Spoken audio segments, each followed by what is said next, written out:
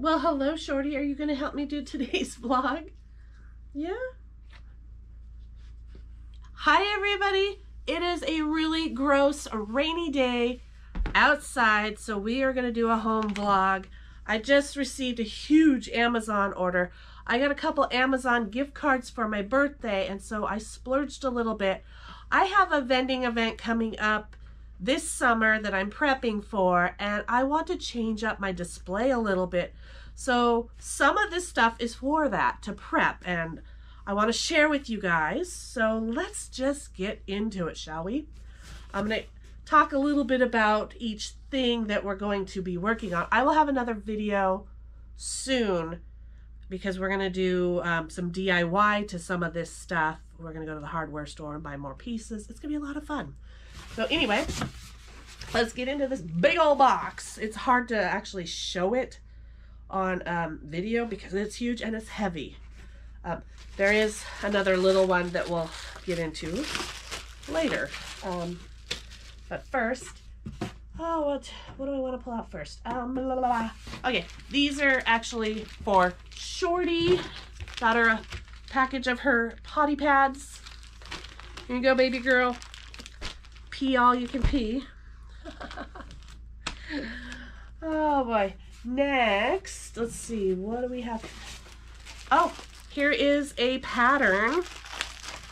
Uh, recently, I did a video where I cut out a bunch of fabric to prep for a sewing day, which we still need to have. I need to cut out more fabric, actually.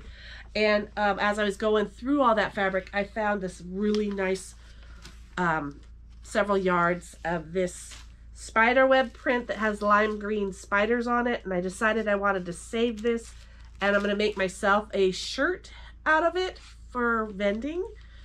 Um, and so I found this really cute pattern that I'm going to use for it. You approve? Thank you.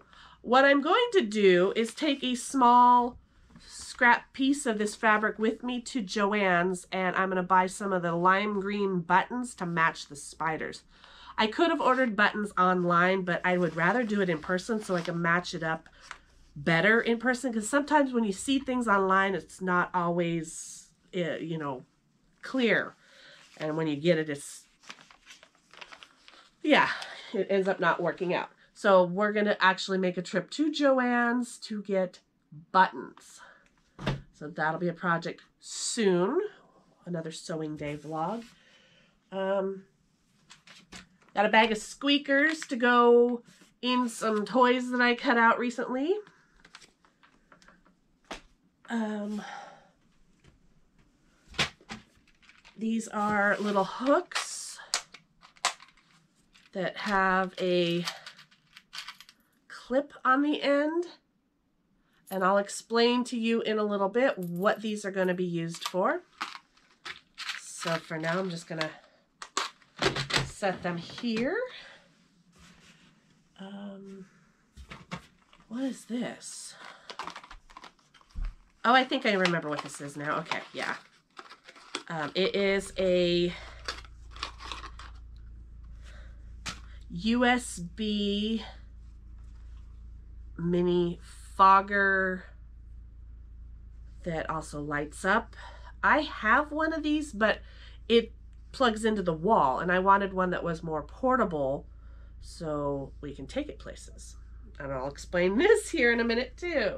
So those kind of go together with the clips. Uh, la da da. Oh, I got some heel insoles for my new shoes. I noticed when we went hiking for my birthday, uh, the whole next day I was in so much pain on my right foot. Um, just oh, achy pain. I years and years ago I used to work at Napa Auto Parts in the warehouse. I worked there for years, like over 10 years. I want to say it was actually 14 years by the time I quit. Um, and at the end, the last couple months, I was in so much pain. It hurt to walk. I felt like my heels were bruised. I had developed plantar fasciitis and sciatica and just lower back pain. It just, it took a toll on me. So it, I hadn't had that pain in a very, very long time until this past weekend. So I bought some new insoles to put in those shoes. Put that over there. These are little holders for coasters. Uh, Pete bought a bunch of the slate coasters to do etchings on and then we found these really cool holders. I think there's a set of four here. I could open it up. My gosh, this is really packaged nice and well protected here. Okay, well, we just need to open up one to get the idea here. So coasters stack in there. I think you could probably get like eight coasters in that. That's pretty tall. So that'll be fun. He's going to work on some fun Halloween themed coasters to put on the vending table. And we're going to sell them as a set in these. Um, oh, this is for the 3D printer. I, I only wanted to buy one roll, but they were out of the single rolls in the color I wanted, so I had to buy it as a two pack, which actually ended up being a better deal in the long run. So I have two rolls of red 3D printer filament. The reason why I wanted this in that color, oh my god, it's heavy, um, is because Pete has been printing me risers for vending. And they're all red. Red is my favorite color. Um, all of my stuff is black and red in the uh, vending theme. So these risers are for my crocheted plushies. I bought um, doll stands to hold the plushies and then they're going to go on the various heights of risers the length of the table. So we wanted more filament to keep printing in the same color so everything is uniform. So these are pretty neat. We are going to um, add a coaster to the top. Pete bought some hexagon wood coasters that are the same exact size as the top of these and I painted them all red and then he's going to etch the little logo on it and we're going to glue them on top. So it gives it a little more uh, weight to them and a little less slippy for the doll stand. So it'll have something to kind of grip to. Plus it'll look really neat to have them all branded with a logo. So that's another project. Uh, see. Um, we got one more thing in the box. And I'll get to, oh, that's a big old box. That's what she said. That'll get broken down and recycled. I'm going to go and talk about this. So these are the doll stands. And I'm a little concerned. Um, I didn't know what size I was getting when I ordered them. It's see, ordering online is so hard. You thought, you think it's going to work, and then you get something that's completely different than what you were thinking it was going to be. And then when things aren't in inches, that makes it even more difficult. Um, these are so tiny, I don't think they're going to work for my plushies. Oh gosh dang it. Yep, I drop everything, I swear. Gravity. Um, let me get that in there. That's too far in. Oh, balls. Come on. Okay, well, you stupid fart bucket. There we go. These are so small. Um, I wanted stands that would go around my plushies. This is just, I brought Dean down as a example. He's not one that's going to be in the vending because I made him special for myself. Love Dean. He's my favorite character. Oh my god! Speaking of Dean, I just finished all of Supernatural. Watched this last season. I hadn't seen season 15. I don't know why. It's been out for like four years. I just, I wasn't ready for the ending. And oh my god, it, it oh, it gutted me and I cried. Anyway, whew, squirrel. squirrel. That's funny. If you know, you know. Um, anyway, I wanted doll stands that would go around their waist. Well, this isn't gonna, this is not big enough. I'm gonna have to return these and get a much larger size because that's not gonna work. What the heck? Ah, anyway. Yeah, so the idea was a doll stand that would hold the plushies in, you know, around their neck or their waist. And then they would sit on these risers at various heights on the table. So I'm gonna have to return these. Dang it, man. Ah, what a pain in the butt. Return them and order a bigger size. I tried to find them locally and no one has them um, except for Hobby Lobby and I don't shop at Hobby Lobby. And they were kind of stupid expensive anyway. You only got like one or two for that one price where I got like 16 of these. Dang it. Ah, I'm not looking forward to having to file a return. Gosh. All right, anyway. Last thing. I have a stand that I've been using for years. I've had this stand for, gosh, I, I, I don't even know how long. And I don't even remember where I got it. Um, I've had it so long. I think it was originally for hanging wet hats, socks, and mittens and stuff to dry. But I've been using it to hold the dog witch hats that I sew and make. And it sits on the table. Well, over time, the, the screw has um, stripped. It's not a very long screw for the nut to go on. This sounds so inappropriate.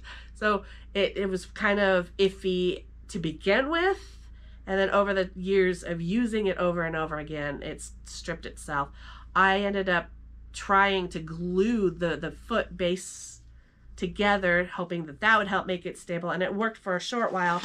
And then over time, that became loose and fell apart. And it's just been very shaky. And I'm ready to retire it because it's kind of a safety hazard. The last thing I want to have happen is it fall over, knock over breakable things. Not that I have breakable things, but it could fall over into the booth next to me, break something, or it could fall on somebody and hurt them. So it's being retired, and I've been looking for a new way to display the witch hats. I looked everywhere online at various fixture stores and Amazon, and I found absolutely nothing that I really liked. Things that I did find that would work great were stupidly priced. I don't want to spend $200 on a little display for a few witch hats. That's dumb. And so I was thinking, well, maybe I can make my own somehow with like PVC pipe or something. But I don't know I, how. I don't have that kind of skills. I mean, I have crafty skills, but to a certain point. My, my skills are in a different department, you know, sewing, crocheting, painting, not building. So a recommended thing came up as I was scrolling through Amazon for a coat rack. And I was like, oh, a coat rack. Okay, well, that's not a bad idea. I could have it standing on the floor next to the table. And uh, this one popped up. And, well, it's in this little box, which has me a little worried because I was expecting it to come in a big, long box already, you know, together. But I guess it's going to be pieces that I have to put together kind of like a tent, I guess. But anyway, I will insert a photo of this here when I saw this, I got so excited. It just screamed witchy goodness to me. This is absolutely perfect for witch hats. Although it doesn't have a whole lot of pegs for hats, so I wouldn't be able to hold a lot of hats. But Pete had a wonderful idea, and that's where these little clips come in handy. We are going to go to the hardware store. As long as this um, works out okay once we take it out of the box and put it together. I'm not going to do that today. I'm going to wait for Pete to come home and we're going to do it together. Um, but he had suggested we go to the hardware store and we buy dowels and we're going to paint the dowels black, cut them to fit in between each legs, which will actually give it more support. And somehow we'll wire it or zip tie it to the structure, structure, blah, blah. and then these little clips can hang on the dowels. Probably, maybe we could get three per dowel. I don't know. I won't know until it's all put together. And then clip a witch hat to it so they hang. So it'll make it a clothing rack as well. Plus all the pegs that are already on the coat rack. And I could put, probably put a hat on the very, very top. Well, if you look at the picture, it has a basket at the bottom. This is what sold me on this for a witch hat display. Oh my God, that little basket reminded me of a cauldron. Do you see it? Oh my God. So what I'm going to do is I'm going to go to the Dollar Tree and get a cheap little plastic bowl that'll fit in that basket, hopefully. And then that's what we bought the Mr. Fogger for, the USB one. We will put this in that bowl in water so that it can do its job and fog and light up. And we wanted USB because we don't always have access to electricity power at vending events unless we want to pay an additional fee, which is stupid and ridiculous because we've already paid enough booth fees to be at the event. So USB all the way. We've got several of those portable power banks that we could plug it in and just hide that underneath. I think that'll be so cool. So can you picture it? Cauldron bubbling, fog and changing colors, witch hats on this tree above it. Yes! But it gets better. Okay, so years ago, a few years back, I used to do a series here on my channel called Campfire Diaries. It was where every time we traveled, I would sit down and we would have like a fire and I would read from my travel journal previous travels that we had done just to kind of keep all the adventures alive and, and inspiring us to keep doing more and so on and so forth. And there was some times where we couldn't always have a fire because like maybe we were in a hotel room or the one time we were camping at Getaway House. It was in the hot, hot summer and there was a burn ban so we couldn't have a campfire. So I ended up buying this little campfire toy. And let's watch this. How cute is that? Anyway, shortly after I bought the toy for Campfire Diaries, I ended up stopped doing Campfire Diaries just because it became a lot of work to do that series. And I, I got burnt out on it. But I still have the toy and I think this underneath that bucket cauldron looking thing is perfect. So it'll look like the fire is lighting the cauldron, the cauldron's bubbling, and then you have all these witch hats. What do you guys think? Can you picture it? It's gonna be amazing. I am so excited. I can't wait to start putting this thing together and making it work. It's going to be so much fun. So we will make this its own video, I think. That'll be coming here soon. So it'll be a DIY craft day putting together the witch hat stand. So excited. I can't wait. I guess that is it for today's video. Oh, it sounds like they finally finished pressure washing. I thought that was crazy. I don't know if the camera picked it up, but there's a lot of pressure washer noise outside. It's raining and they're outside pressure washing the building over and behind. it's just been crazy loud. But anyway, oh, I'm getting distracted. I'm going to go. I'm going to go make some lunch, enjoy the rest of my day. You guys enjoy the rest of your day. Thank you for joining me on this rainy, boring day, unboxing Amazon stuff and making plans for vending booth prep. I'm excited. We will have another um, sewing day really soon. I have a lot of craft projects lined up coming. Just April showers, so April's going to have a lot of rainy days, so it's great to stay inside and work on projects. Can't wait. All right, I'll see you again tomorrow because it's still March, and March we're daily vlogging. So I'll see you then. Have a great day. Bye.